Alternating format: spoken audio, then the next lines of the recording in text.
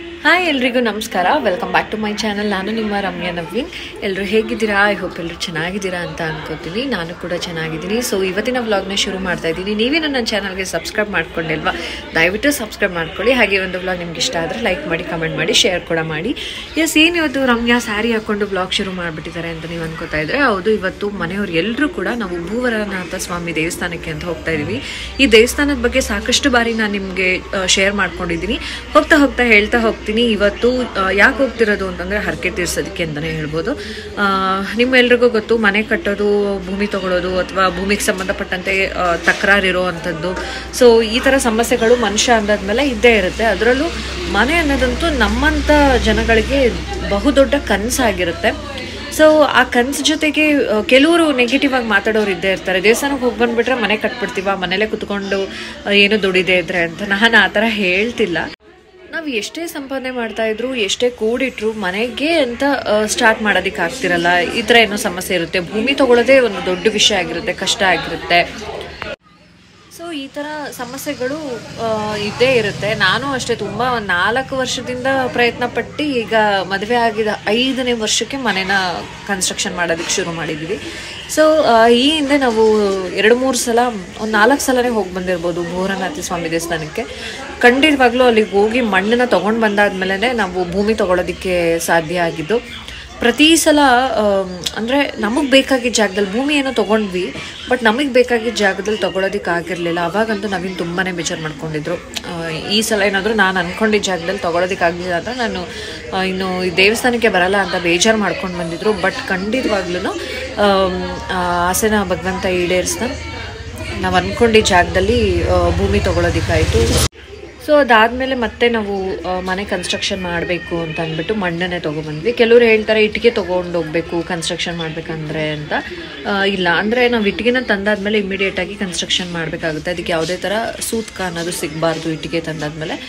ಮಣ್ಣನ್ನ ತೊಗೊಂಡು ಬಂದಿದ್ವಿ. ಆ ಮಣ್ಣು ತಂದು ಐ ಥಿಂಕ್ ಒಂದು ವರ್ಷ ಇನ್ನೂ ಆಗೇ ಇಲ್ಲ ನಾವು ಮನೇನ ಶುರು ಮಾಡಿದ್ವಿ. ಸೊ ಈಗ ನಾನು ಮಣ್ಣನ್ನ ಪೂಜೆ ಮಾಡಿದ್ದಾಯಿತು ಇಷ್ಟು ದಿನ. ಅದನ್ನು ತುಳಸಿ ಗಿಡಕ್ಕೆ ಹಾಕಿದ್ದೀನಿ. ಇವತ್ತು ನಾವು ದೇವಸ್ಥಾನಕ್ಕೆ ಹೋಗ್ತಾ ಇದ್ದೀವಿ ಈಗ ಆಲ್ರೆಡಿ ನಾವು ಕನ್ಸ್ಟ್ರಕ್ಷನ್ ಶುರು ಮಾಡಿರೋದ್ರಿಂದ ಇಟ್ಟಿಗೆ ತೊಗೊಂಡು ಬಂದು ಹೇಗಿದ್ರು ಆರ್ ಸಿ ಸಿ ಮುಗ್ದಿದೆ ಕ್ಯೂರಿಂಗ್ ಎಲ್ಲ ಆಗಿದೆ. ಮತ್ತು ಫಸ್ಟ್ ಫ್ಲೋರ್ ಕನ್ಸ್ಟ್ರಕ್ಷನ್ ಶುರು ಆಗೋದ್ರಿಂದ ಆ ಇಟ್ಟಿಗೆನ ತೊಗೊಬಂದು ಅದಕ್ಕೆ ಯೂಸ್ ಮಾಡ್ಕೋಬೋದು, ಪೂಜೆ ಮಾಡಿ ಅದಕ್ಕೆ ಯೂಸ್ ಮಾಡ್ಕೋಬೋದು ಅಂತ ಇವತ್ತು ದೇವಸ್ಥಾನಕ್ಕೆ ಹೋಗ್ತಾ ಇದ್ದೀವಿ. ಮತ್ತು ಪ್ರತಿ ಸಲ ದೇವಸ್ಥಾನಕ್ಕೆ ಹೋಗಬೇಕಾದ್ರೂ ಕೂಡ ನಾವು ಒಂದು ಚೀಲ ಅಕ್ಕಿನ ಕೊಟ್ಟು ಅಲ್ಲಿ ಅನ್ನದಾನ ಕೂಡ ನಡೆಯುತ್ತೆ. ಪ್ರತಿ ಏನು ಮಧ್ಯಾಹ್ನ ಏನಿರುತ್ತೆ, ಅಲ್ಲಿ ಅನ್ನದಾನ ಇರುತ್ತೆ. ಬಂದವ್ರಿಗೆ ಎಷ್ಟು ದೂರ ದೂರದಿಂದ ಬಂದಿರ್ತಾರೆ, ಅವರಿಗೆಲ್ಲ ಊಟ ಇರುತ್ತೆ. ಸೊ ನನಗನ್ಸಿದ್ದು ನಮ್ಮ ಕೈಲಾದಂಥ ಸೇವೆ ಅದು ಏನಾದರೂ ಆಗಿರ್ಬೋದು ನಾವು ಒಪ್ಕೊಂಡು ಬರ್ಬೋದು ಬಟ್ ನಾವು ಪ್ರತಿ ಸಲ ಅಕ್ಕಿನ ತೊಗೊಳೋದ್ರಿಂದ ಅಲ್ಲಿ ಬರುವಂಥ ಒಂದಷ್ಟು ಜನಕ್ಕೆ ಅನುಕೂಲ ಆಗುತ್ತೆ ಊಟ ಮಾಡ್ತಾರೆ ಅಂತ ನಾವು ಅದನ್ನೇ ಪ್ರತಿ ಸಲ ಅದನ್ನೇ ಮಾಡ್ತೀವಿ. ಆ ಥರ ರೆಡಿನಾ ಬಾಯ್ಲಿ. ಸೊ ಬಾಯ್ಲಿ. ಏ ಇಲ್ಲಿ ನೋಡು ಮಗ್ನೇಲಿ ಹಾಯ್ ಹೇಳು ಎಲ್ರಿಗೂ ನಮಸ್ಕಾರ ಮಾಡು. ನಮಸ್ತೆ. ಏಯ್ ಏಯ್ ಇಲ್ಲಿ ನೋಡು ಮಗ್ನೆ, ಇಲ್ಲಿ ಇಲ್ಲಿ ಹೇಳು ಏನಾದ್ರು. ಎಲ್ರಿಗೂ ನಮಸ್ಕಾರ. ಅಲ್ಲಿ ಪಪ್ಪ ಕರೀತಿದ್ದಾರೆ. ಹೋಗಿ ಪ್ಯಾಂಟ್ ಶೇರ್ ಮಾಡ್ಕೊಂಡು ಹೋಗಿ. ಪ್ಯಾಂಟು? ಸೊ ಬೇಗನೆ ಹೊರಡ್ಬೇಕು ಅಂದ್ಕೊಂಡ್ವಿ ಎಂಟು ಗಂಟೆ ಅಷ್ಟರಲ್ಲಿ ಹೊರಡೋಣ ಅಂತ. ಈಗ ಸಮಯ ಒಂಬತ್ತು ಗಂಟೆ ಆಗ್ತಾ ಬಂದ್ಬಿಡ್ತು. ಸೊ ಈಗ ಹೊರಡಬೇಕು. ನಾವೆಲ್ಲರೂ ರೆಡಿ ಆಗಿದ್ದೀವಿ. ಬ್ರೇಕ್ಫಾಸ್ಟ್ ಕೂಡ ಎಲ್ಲ ಆಯಿತು. ಸೊ ಈಗ ಹೊರಡಬೇಕು.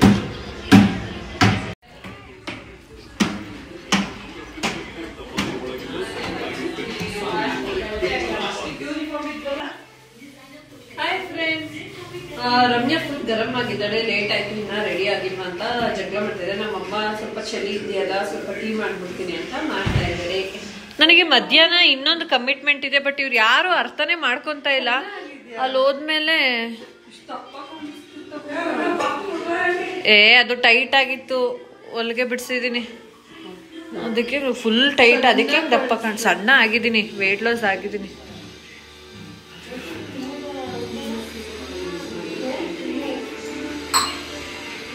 ನೀ ಕೊಡವ ಕೊಡು ಟೀ ಕೊಡು. ಕೊಡವಾ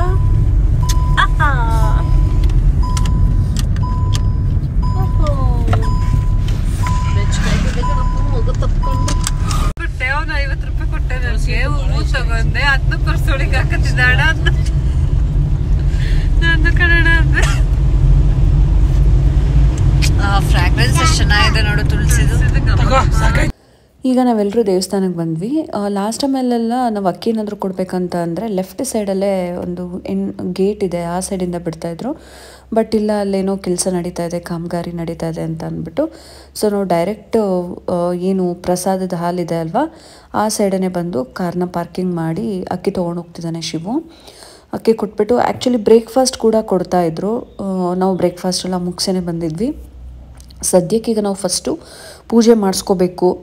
ಯಾಕಂದರೆ ಇವತ್ತು ಸಂಡೇ ಆಗಿರೋದ್ರಿಂದ ಯೂಶಲಿ ವೀಕ್ ಡೇಸಲ್ಲಿ ಜನ ಕಡಿಮೆ ಇರ್ತಾರೆ. ಈ ವೀಕೆಂಡ್ಸಲ್ಲಿ ಸಿಕ್ಕಾಪಟ್ಟೆ ಜನ ಇರ್ತಾರೆ. ಎಲ್ಲೆಲ್ಲಿಂದ ಬಂದಿರ್ತಾರೆ? ಬ್ಯಾಂಗ್ಳೂರಿಯನ್ಸು ಚಿತ್ರದುರ್ಗ, ಈ ಥರ ಬೇರೆ ಬೇರೆ ಕಡೆ ನವೀನ್ ಅದನ್ನೇ ಹೇಳ್ತಾಯಿದ್ರು ಎಲ್ಲೆಲ್ಲಿಂದ ಬಂದಿದ್ದಾರೆ ನೋಡು? ನಾವು ಸ್ವಲ್ಪ ಹತ್ತಿರ ಇರೋರು ಆದಷ್ಟು ನಾವು ವೀಕ್ ಡೇಸಲ್ಲಿ ಪ್ಲ್ಯಾನ್ ಮಾಡ್ಕೊಬೇಕು ಅಂತ ತುಂಬ ಸಲ ಹೇಳ್ತಾ ಇರ್ತೀನಿ, ಆದರೂ ಕೇಳ್ತಾ ಇರ್ತೀರಾ? ಇದು ಎಲ್ಲಿರೋದು ಅಂತ ಮಂಡ್ಯ ಜಿಲ್ಲೆ, ಕೆ ಆರ್ ಪೇಟೆ ತಾಲೂಕು.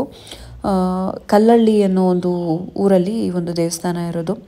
ಸಾಕಷ್ಟು ಬಾರಿ ಹೇಳಿದ್ದೀನಿ ಬಿಕಾಸ್ ಅದು ನೋಡಿಲ್ಲದೆ ಇರೋರಿಗೆ ಪದೇ ಪದೇ ಕೇಳ್ತಾ ಇರ್ತಾರೆ. ನೀವು ಇಷ್ಟು ಇನ್ಫಾರ್ಮೇಷನ್ ತೊಗೊಂಡು ಖಂಡಿತವಾಗ್ಲೂ ದೇವಸ್ಥಾನಕ್ಕೆ ಹೋಗ್ಬೋದು. ಈಗ ಅಲ್ಲಿ ಅಕ್ಕಿ ಕೊಟ್ವಿ ಅಲ್ವಾ? ನೇಮ್ ಬರೆಸ್ಬೇಕು, ಹೆಸರು ಬರೆಸ್ತಾ ಇದ್ದೀವಿ. ಆ್ಯಸ್ ಯೂಶಲ್ ಎಲ್ಲೇ ಹೋದರೂ ನಾವು ರಮ್ಯ ನವೀನ್ ಅಂತಲೇ ಬರ್ಸೋದು. ಅಥರ್ವ ಮುಂದೆ ಹೋಗ್ತಾ ಇದ್ದ. ನಾನು, ನವೀನ್ ಇಬ್ಬರು ಹೋಗ್ತಾ ಇದ್ದೀವಿ. ಶಿವು ಹಿಂದೆ ಬರ್ತಾ ಇದ್ದಾನೆ, ಅಮ್ಮ ಮತ್ತು ಅಕ್ಕ. ತುಳಸಿ ಏನು ತೊಗೊಂಡಿದ್ವಲ್ಲ ಅದನ್ನು ತೊಗೊಂಡು ಹೋಗ್ತಾ ಇದ್ದಾರೆ. ಬಹಳ ಇಂಪ್ರೂವ್ಮೆಂಟ್ಸ್ ಆಗಿದೆ ಇದು ದೇವಸ್ಥಾನ. ಪ್ರತಿ ವರ್ಷ ಒಂದೊಂದು ಇಂಪ್ರೂವ್ಮೆಂಟ್ಸ್ ಆಗ್ತಿರುತ್ತೆ. ಯಾಕಂದರೆ ಅಷ್ಟು ಭಕ್ತಾದಿಗಳು ಬರ್ತಾ ಇದ್ದಾರೆ, ಅಷ್ಟು ಜನಕ್ಕೆ ಒಳ್ಳೇದಾಗ್ತಾ ಇದೆ. ನಾವು ಒಂದು ಪ್ಲೇಸ್ಗೆ ಪದೇ ಪದೇ ಹೋಗ್ತೀವಿ ಅಂತಂದರೆ ಅದಕ್ಕೆ ರೀಸನ್ ಇರುತ್ತೆ, ಕಾರಣ ಇಲ್ಲದೆ ಯಾರು ಹೋಗಲ್ಲ. ನಮ್ಗೆ ಅಷ್ಟೊಂದು ಒಳ್ಳೇದಾಗ್ತಿದೆ, ನಾವು ಅಂದ್ಕೊಂಡಿದ್ದೆಲ್ಲ ಆಗ್ತಿದೆ ಅಂದಾಗ ಅಷ್ಟೇ ನಾವು ಜಾಸ್ತಿ ಹೋಗಬೇಕು ಅನ್ನೋ ಒಂದು ಮನಸ್ಸನ್ನ ಮಾಡ್ತೀವಿ. ಯಾಕಂದರೆ ನಮ್ಮ ಕಷ್ಟಗಳನ್ನ ಭಗವಂತನ ಹತ್ರ ಹೇಳ್ಕೊಂಡಾಗ ನಮ್ಮ ಸಮಸ್ಯೆಗಳನ್ನು ಭಗವಂತನ ಹತ್ರ ಹೇಳ್ಕೊಂಡಾಗ ಅಲ್ಲಿ ಆ ಭಗವಂತ ಅದನ್ನು ಕೇಳ್ತಿದ್ದಾರೆ ಅದಕ್ಕೆ ಪರಿಹಾರ ಕೊಡ್ತಾ ಇದ್ದಾರೆ ನಮಗೇನೋ ಒಂದು ಒಳ್ಳೇದಾಗ್ತಿದೆ ಅಂದಾಗ ಖಂಡಿತವಾಗ್ಲೂ ಬರದೇ ಇರೋದಕ್ಕೆ ಸಾಧ್ಯನೇ ಇಲ್ಲ. ನಾನು ಹೇಳಿದ್ನಲ್ಲ ನವೀನ್ ಈ ಥರ ಅಂದ್ಕೊಂಡು ಬಂದುಬಿಟ್ಟಿದ್ರು ಅಂತ. ಯಾಕಂದರೆ ಮನೆ ಎಲ್ಲ ಕಟ್ಬೋದು ಮನೇನ, ಬಟ್ ನಮಗೊಂದು ಜಾಗ ಇಲ್ಲೇ ಕಟ್ಟಬೇಕು ಅನ್ನೋದು ಒಂದು ಆಸೆ ಇರುತ್ತೆ, ಕನಸಿರುತ್ತೆ. ಸೊ ಅದು ಸಿಗದೇ ಇದ್ದಾಗ ನಮಗೆ ಸ್ವಲ್ಪ ತಡನೇ ಆಯಿತು.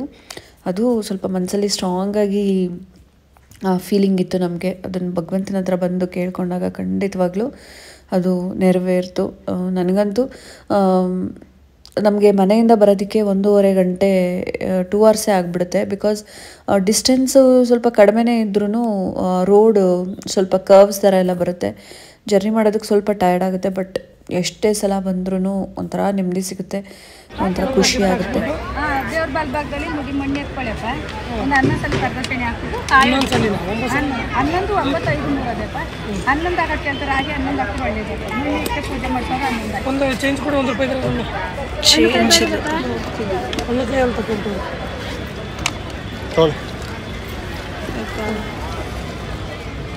ಇಟ್ಟಿಗೆ ಕವರ್ ಕೊಡಲ್ಲ? ಇಟ್ಟಿಗೆ ಒಂದು ಕವರ್ ಕೊಟ್ಟಿದ್ದೀನಿ. ಇಟ್ಗೆ ಎಲ್ಲಿ ತಗೊಂಡ್ರಪ್ಪ ಅಲ್ಲಿ ತಗೊಳ್ರಪ್ಪ ತಗೊಂಡ್ರೆ ಇಟ್ಟಿಗೆ ತಗೊಂಡಿಲ್ಲ. ಇಟ್ಗೆ ತಗೋತಿದ್ದೀರಾ? ಹಾಂ ಕೊಡಿ ಇಟ್ಟಿಗೆ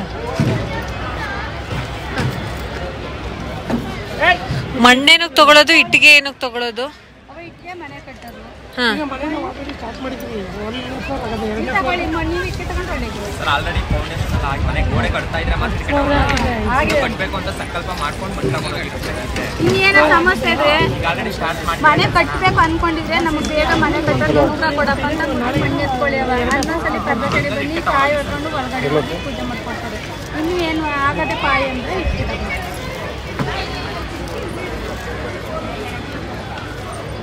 ತಗೋಬೇಕು. ಮಣ್ಣು ಮನೆಗೆ ಎರಡು ತಗೋಬೇಕಾ?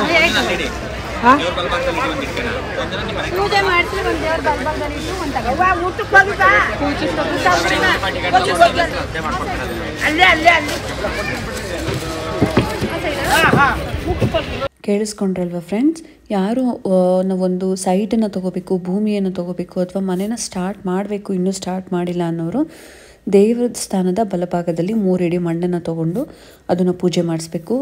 ಆ ಪೂಜೆ ಅಂದರೆ ಫಸ್ಟು ನಾವು ಒಂಬತ್ತು ಸುತ್ತು, ಹನ್ನೊಂದು ಸುತ್ತು, ಮೂರು ಅಥವಾ ಐದು ಸುತ್ತು ಪ್ರದಕ್ಷಿಣೆ ಹಾಕ್ಕೊಂಡು ಬಂದು ಅಲ್ಲಿ ಪೂಜೆ ಟಿಕೆಟ್ ಇರುತ್ತೆ. ಟೂ ಹಂಡ್ರೆಡ್ ರುಪೀಸ್ ಇನ್ನೂರು ರೂಪಾಯಿ ಒಂದು ಪೂಜೆ ಟಿಕೆಟಿಗೆ ಅದನ್ನು ಕೊಟ್ಟು ನಾವು ಮಣ್ಣಿನ ಪೂಜೆ ಮಾಡಿಸ್ಬೇಕಾಗತ್ತೆ. ಪೂಜೆ ಮಾಡಿಸಾದ್ಮೇಲೆ ಅವ್ರು ಏನು ಹೇಳ್ತಾರೆ ಅಂದರೆ ಮಣ್ಣಿನ ಒಂದು ಹಳದಿ ಬಟ್ಟೆಯಲ್ಲಿ ಕಟ್ಟಿ ದೇವ್ರ ಮನೆಯಲ್ಲಿ ಇಟ್ಟು ಪೂಜೆ ಮಾಡಿ ಅಂತ ಹೇಳ್ತಾರೆ. ಅದಾದಮೇಲೆ ಅದನ್ನು ತುಳಸಿ ಗಿಡಕ್ಕೋ ಅಥವಾ ಯಾವುದಾದ್ರೂ ಒಂದು ಗಿಡಕ್ಕೆ ಹಾಕ್ಬಿಡ್ಬೋದು. ಇನ್ನೂ ಮನೆ ಸ್ಟಾರ್ಟ್ ಆಗಿದೆ ಫೌಂಡೇಶನ್ ಆಗಿದೆ, ನಾವು ಕಟ್ಟಡ ಕಟ್ಟಬೇಕು ಅನ್ನೋರು ಇಟ್ಟಿಗೆನ ತೊಗೋಬೇಕು. ಇಟ್ಟಿಗೆಗೆ ಸೂತ್ಕ ಸಿಗಬಾರ್ದು ಅಂತ ನಾನು ಆಗಲೇ ಹೇಳಿದ್ನಲ್ಲ. ಸೊ ಅದನ್ನು ಒಂದು ಈಶಾನ್ಯ ದಿಕ್ಕಿಗೆ ಏನು ಕಟ್ತಾ ಇರ್ತೀವಲ್ಲ, ಆ ಒಂದು ಜಾಗಕ್ಕೆ ಇಟ್ಟಿಗೆನ ಹಾಕಿ ಕಟ್ಟಬೇಕು ಅಂತ ಕೂಡ ಹೇಳ್ತಾರೆ. ಈಗ ಶಿವು, ನವೀನ್ ಮತ್ತು ಅಕ್ಕ ಮೂರು ಜನನು ನವೀನ್ ಇಟ್ಟಿಗೆ ತೊಗೊಂಡಿದ್ದಾರೆ. ಅವರಿಬ್ಬರು ಮಣ್ಣನ್ನು ತೊಗೊಂಡು. ಈಗ ಮಣ್ಣನ್ನು ತೊಗೊಂಡು ಬರೋದಕ್ಕೆ ಅಂತ ಹೋಗಿದ್ದಾರೆ. ತೊಗೊಂಡು ಬಂದಾದಮೇಲೆ ಅದಕ್ಕೆ ಪ್ರದಕ್ಷಿಣೆ ಹಾಕ್ಕೊಂಡು ಬರಬೇಕು. ಪ್ರದಕ್ಷಿಣೆ ಹಾಕ್ಕೊಂಡು ಬರೋ ತನಕ ನಾನು ಅಮ್ಮ ಆ ಥರ ವೆಯ್ಟ್ ಮಾಡಬೇಕು. ಅಷ್ಟರಲ್ಲಿ ಟಿಕೆಟ್ ತಗೋ ಅಂತ ಹೇಳಿದ್ರು ನವೀನ್. ತುಂಬಾ ಕ್ಯೂ ಇತ್ತು. ಆ, ಹಿಂದೆ ನಿಂತ್ಕೊಬೇಕಾಗಿತ್ತು. ಬಿಸಿಲಲ್ಲಿ ಅಥರ್ವನ ಇಟ್ಕೊಂಡು ನಿಂತ್ಕೊಳ್ಳೋದು ಭಾಳ ಕಷ್ಟ. ಅಮ್ಮನಿಗೆ ದೇವಸ್ಥಾನದ ಒಳಗಡೆ ಹೋಗಿ ಕೂತ್ಕೊಂಡಿರಿ ಅಂತ ಹೇಳಿದೆ. ಅಥರ್ವನು ಕರ್ಕೊಂಡೋಗಿ ಅಂತ ಹೇಳಿದೆ ಬಟ್ ಅವನು ಇರ್ತಿಲ್ಲ. ಅವನು ಅದೇ ಥರ ತರಲೆ. ನನ್ನ ಮಗಂದು ಅದೊಂದು ಸ್ಪೆಷಾಲಿಟಿ ಅವನು ಹಿಂಸೆ ಕೊಡಬೇಕು ಅಂತ ಫಿಕ್ಸ್ ಆಗಿಬಿಟ್ರೆ ಅವನು ಹಂಗೇನೆ ಸುಮ್ಮನೆ ಕೂತ್ಕೊಳ್ಳೋದು ಸೈಲೆಂಟಾಗಿ ಆ ಥರ ಅಲ್ಲ, ಸಿಕ್ಕಾಪಟ್ಟೆ ತರಲೆ ಮಾಡ್ತಾನೆ.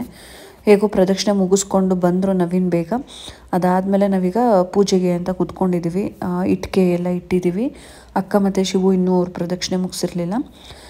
ಈಗ ಅಲ್ಲಿ ಪೂಜೆ ಆಗ್ತಿರುತ್ತೆ. ಪ್ರಾರ್ಥನೆ ಮಾಡ್ಕೊಳ್ಳಿ ಅಂತ ಹೇಳ್ತಾರೆ. ನಾವು ಪ್ರಾರ್ಥನೆ ಮಾಡಿಕೊಂಡಾದ್ಮೇಲೆ ಅವರು ಪೂಜೆ ಮಾಡಿಕೊಡ್ತಾರಲ್ವ? ಅದನ್ನು ನಾವು ತೊಗೊಂಡು ದೇವಸ್ಥಾನದ ಒಳಗಡೆ ಹೋಗ್ಬೋದು. ಕಾಯೆಲ್ಲ ಹೊರಗಡೆನೇ ಹೊಡ್ಕೊಬೇಕು ಅಲ್ಲಿ ಒಳಗಡೆನೂ ನಮಗೆ ಪೂಜೆ ಅಂತ ಏನು ಮಾಡಿಕೊಡಲ್ಲ. ನಾವು ಹೊರಗಡೆ ಬಂದು ಪೂಜೆ ಮಾಡ್ಕೊಬೋದು. ಹಾಗೆ ನಮ್ಮ ಸಬ್ಸ್ಕ್ರೈಬರ್ಸ್ ಕೂಡ ಸಿಕ್ಕಿದ್ರು. ತುಂಬ ಖುಷಿಯಾಯಿತು ಮಾತಾಡಿ. ಮಾತಾಡ್ಸಿದ್ರು ಬಂದು. ನಿಮ್ಮ ವೀಡಿಯೋಸ್ ನೋಡ್ತಿರ್ತೀವಿ ನಿಮ್ಮ ವ್ಲಾಗ್ಸ್ ನೋಡ್ತಿರ್ತೀವಿ ಅಂತ ಸಿಕ್ಕಾಪಟ್ಟೆ ಖುಷಿ ಆಯಿತು. ಎಲ್ಲೇ ಹೋದರೂ ಐಡೆಂಟಿಫೈ ಮಾಡ್ತಾರೆ ಮಾತಾಡ್ತಾರೆ ನನ್ನನ್ನು ಮಾತ್ರ ಅಲ್ಲ ನಮ್ಮ ಅಮ್ಮನೂ ಕೂಡ ತುಂಬ ಜನ ಬಂದು ನೀವು ರಮ್ಯಾ ನವೀನ್ ಅವ್ರ ಅಮ್ಮ ಅಲ್ವಾ? ಅಂತ ಅಂದ್ಬಿಟ್ಟು ಮಾತಾಡ್ಸಿದ್ರಂತೆ. ಅಮ್ಮನೂ ಖುಷಿ ಪಡ್ತಾ ಇದ್ರು. ಆ, ನೀವೆಲ್ಲರೂ ಪ್ರೀತಿಗೆ ಸದಾ ಚಿರಋಣಿ ಆ ಥರವೂ ನೋಡುತ್ತಾ ಇದ್ದಾರೆ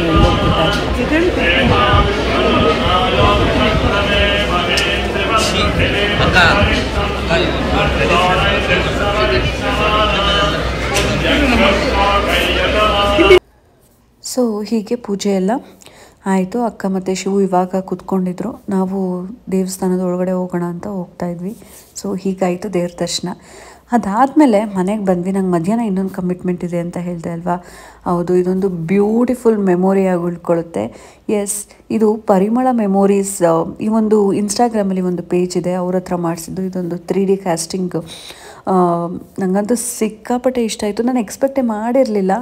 ನೀವೆಲ್ಲ ನೋಡಿರ್ಬೋದು ಮಕ್ಕಳದು ಹ್ಯಾಂಡ್ಸ್ ಇರ್ಬೋದು ಮತ್ತು ಆ ಫೂಟ್ ಇರ್ಬೋದು ಎಷ್ಟು ಕ್ಯೂಟ್ ಕ್ಯೂಟಾಗಿರುತ್ತೆ ಅಂತ. ಬಟ್ ನನ್ನ ಮಗ ಅಂತೂ ಖಂಡಿತವಾಗ್ಲೂ ಕೈಯೆಲ್ಲ ಹಾಕ್ಕೊಂಡು ಅದೆಲ್ಲ ಮಾಡಿಸ್ಕೊಳ್ಳೋದೆಲ್ಲ ಆ ಥರ ಸಿಕ್ಕಾಪಟ್ಟೆ ದೂರದ ಮಾತು ಅದು. ಸೊ ನಂದು ಮತ್ತು ನವೀನ್ದು ಒಂದು ಹ್ಯಾಂಡ್ಸ್ನ ಈ ಥರ ಮಾಡಿಸ್ಬೇಕಂತ ತುಂಬ ದಿನದಿಂದ ಅಂದ್ಕೊಂಡಿದ್ದೆ ಒಂದು ಬ್ಯೂಟಿಫುಲ್ ಮೆಮೊರಿ ಆಗಿರುತ್ತೆ. ಸೊ ಅವ್ರ ಕಾಂಟ್ಯಾಕ್ಟ್ ನಂಬರ್ನ ನಾನು ಸ್ಕ್ರೀನ್ ಮೇಲೆ ಹಾಕಿರ್ತೀನಿ. ಇದಿನ್ನೂ ಆ್ಯಕ್ಚುಲಿ ಅದು ಫಿನಿಶಿಂಗ್ ಎಲ್ಲ ಮಾಡಬೇಕು. ಮಾಡಿ ಅದು ಫ್ರೇಮ್ ಎಲ್ಲ ಹಾಕ್ಸ್ಕೊಡ್ತಾರೆ. ಅದಾದಮೇಲೆ ಕೂಡ ನಾನು ತೋರಿಸ್ತೀನಿ ನಿಮಗೆ. ಸೊ ನಿಮಗೆ ಯಾರಿಗಾದರೂ ಈ ಥರದ್ರಲ್ಲಿ ಇಂಟ್ರೆಸ್ಟ್ ಇದ್ದರೆ ನೀವು ಮಾಡಿಸ್ಕೊಬೇಕು ಅನ್ನೋದಿದ್ರೆ ಅವ್ರನ್ನ ಕಾಂಟ್ಯಾಕ್ಟ್ ಮಾಡಿ. ಸೊ ಇಲ್ಲಿಗೆ ಒಂದು ವ್ಲಾಗ್ನ ಎಂಡ್ ಮಾಡ್ತೀನಿ. Thank you